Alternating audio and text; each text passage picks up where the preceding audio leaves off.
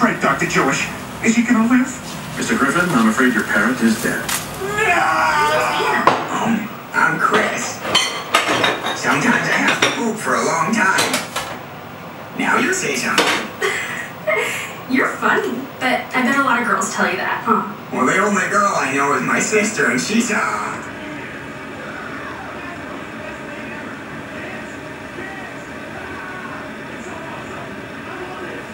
Everything okay? You seem a little, I don't know, quiet tonight. Yeah, everything's fine. Uh, yes, can I have two tickets? One.